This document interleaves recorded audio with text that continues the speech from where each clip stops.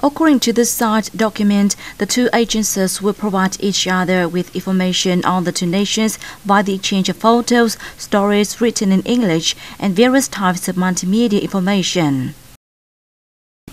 Deputy General Director of the Vietnam News Agency, Đoàn Thị Tuyết Nhung, affirmed that the VNA and BTA, the official news agencies of Vietnam and Bulgaria, see ample room for cooperation in information exchange, serving the growing needs for mutual understanding between the two countries' peoples, businesses, and investors.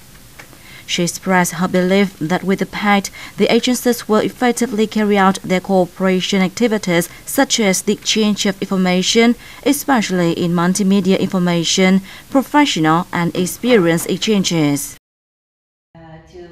Valchev lauded the VNA's position in Vietnam's national information system and hoped to learn from its experience in multimedia information development.